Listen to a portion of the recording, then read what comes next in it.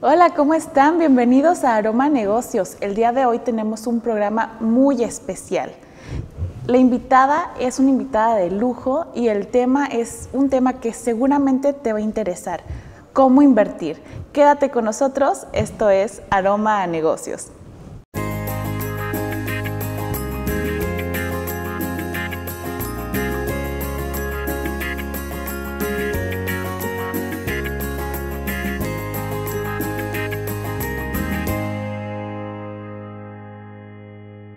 Hola Thais, ¿cómo estás? Elisa, buenas tardes. Estamos hoy con un clima fabuloso. Eso veo Felices. Hoy nos pusimos nuestras chaquetitas, aunque aquí el estudio está bien calentito, pero estamos muy agradecidos a Dios por tenernos hoy una vez más acá en el programa Aroma Negocios. Claro que sí, y pues como les mencionaba, el tema de hoy es un tema muy interesante, es un poquito complejo porque... Em, por así decirlo, hay expertos que lo manejan, que lo estudian, que lo proyectan, ¿no? Y, es esto de las inversiones. Ustedes saben, yo no soy de finanzas ni nada, así que es un tema que, que ha sido un reto especialmente porque, como les decía, hay expertos en el área que proyectan, que investigan, que analizan, que van a la historia y ven qué pasó años atrás para poder invertir exitosamente. Lo importante de este programa es que todas las personas que nos escuchen puedan comprender que la inversión se puede hacer desde cantidades pequeñas, desde una persona natural que no tenga una empresa o que no tenga gran cantidad de dinero.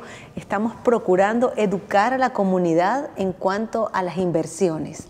Y si las personas quieren comunicarse con nosotros, si quieren hacernos una pregunta, Elisa, ¿cómo harán? Claro que sí, pueden llamarnos al, bueno, no llamarnos, mandarnos un mensaje de WhatsApp al 826 114 15 55. Ahí con mucho gusto responderemos sus dudas o les mandaremos los saludos o simplemente nos va a dar muchísimo gusto que se pongan en contacto con nosotros.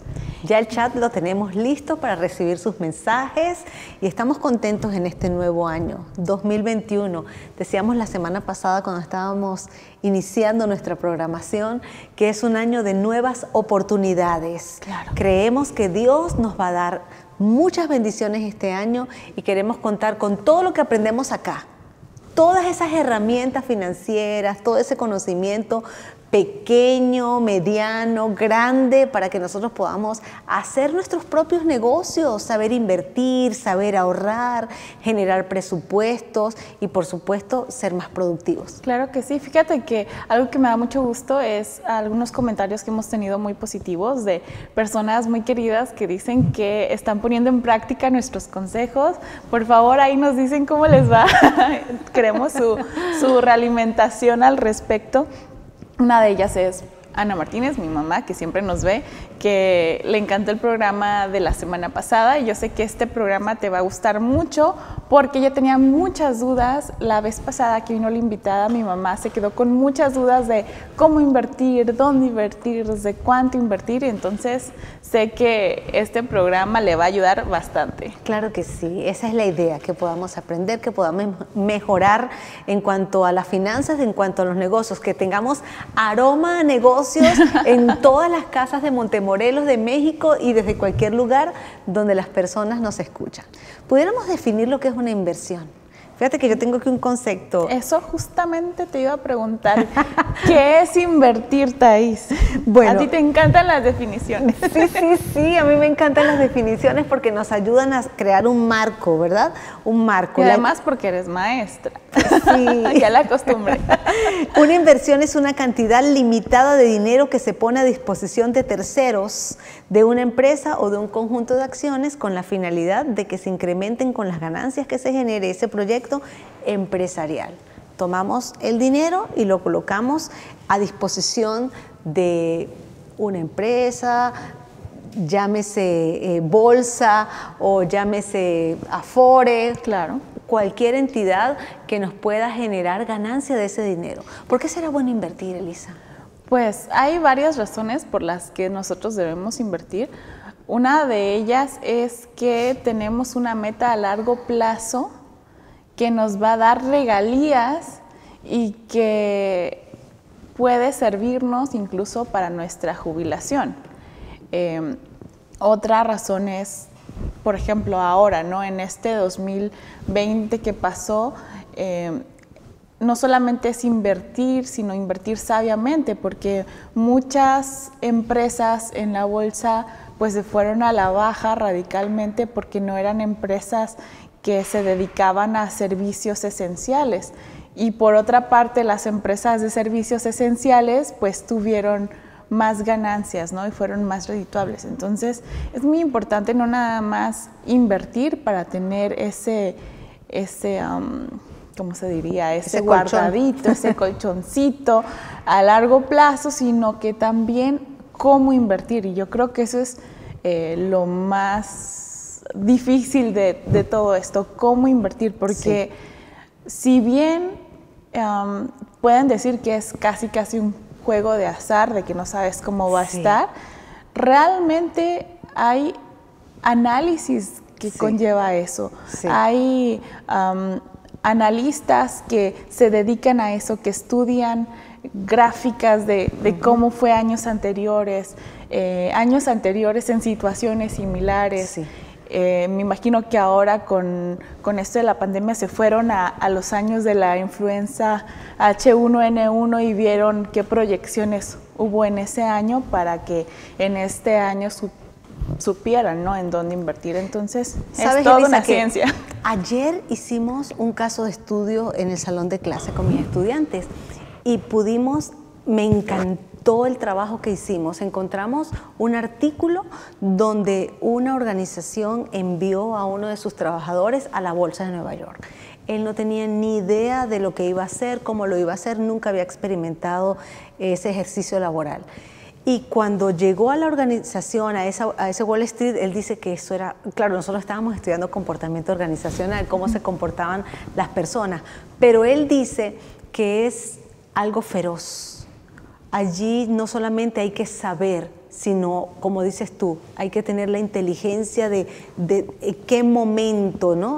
Hacerlo. Y una mente rápida, ¿no? Porque las películas que hemos visto, ¿no? En cuanto a la bolsa de valores, ese frenesí de cómprala, véndela, y me imagino que, que es algo que, que también se llega a ser intuitivo.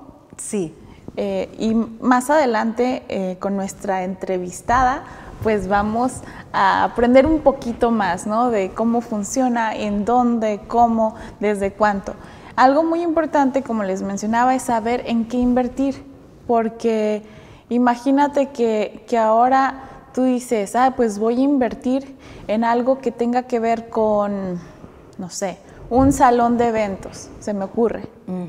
Si la proyección es que este año sea similar al anterior hasta, no sé, hasta mediados de año, hasta que la vacunación se, se complete a nivel, no sé, nacional, entonces como que invertir en un salón de eventos ahorita no es muy buena idea. Sí, no, es un negocio tan inteligente como pudiera ser otro. Pero ¿qué tal invertir en, ah, no sé... Tecnología. Tecnología, en farmacéuticas, En, salud.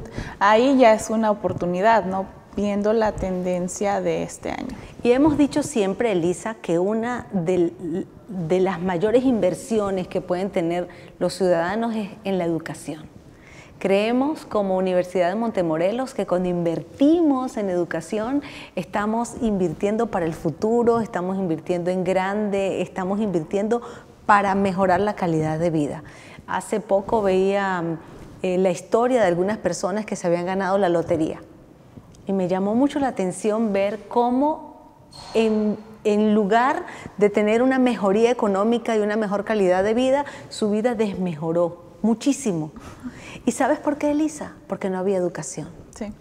Entonces, a veces es mejor tener poco y gran educación que tener mucho sin educación. Yo invito a todas las personas que nos están escuchando que puedan creer en los proyectos de inversión que comienzan con poco, que van creciendo de manera gradual, que se van incrementando, donde vamos aprendiendo así como lo hemos hecho aquí en, este programa. Aquí hemos enseñado mucho eh, lo referente a la siembra. Claro. Usted no sembró y mañana tiene la naranja. Y hablando de siembra, adivina qué. Cuéntanos porque sé que tienes noticias. ya tengo frutos de mi cosecha. Esta semana que pasó coseché un pimiento verde o un chile morrón verde toda la audiencia y yo no le creemos. Les hasta voy a que traer no lo probemos, fotos, hasta que no lo probemos. No queremos fotos, queremos probar algo con chile morrón, ¿verdad? Los muchachos en las cámaras dicen que sí. Sí, sí les gusta. Está chiquito porque es en una maceta, es casi un bonsai mi chile, pero, pero ya, y ya vienen dos más en camino, así que... Eso es una muestra, Elisa, que invertiste tiempo, dedicaste cuidado, estuviste pendiente de, esa planta porque puedo dar fe que el clima aquí es muy fuerte, aquí en Montemorelos, y si, y si ya dio fruto es porque estuviste cerca de ella. De eso se trata la inversión, Elisa, que nosotros tengamos paciencia, que podamos saber que vamos a sembrar, porque tú supongo que cuando decidiste sembrar el chile morrón es porque tenías, querías chile morrón. Claro, porque decía, no, el chile morrón está muy caro. Entonces, de estas semillitas, a ver qué sale y salieron varias plantitas y de esas ya están, ya están creciendo. Y ha sido un proceso muy educativo, tanto para mí como para mi hija, de que ella ha visto, ¿no? Desde que sembramos, ella me ayuda a sembrar, sembramos, a ella le toca ir a echarle agüita, le ha tocado ver cómo le, le he tenido que crear un, un, ambiente especial, o sea, le he puesto un plástico para cubrirla del frío a la planta. Entonces, es lo mismo con las inversiones, no es nada más de que ya invertí y me olvido, o sea, tienes que cuidar tu inversión, tienes que saber en qué momento en qué momento comprar, en qué momento vender.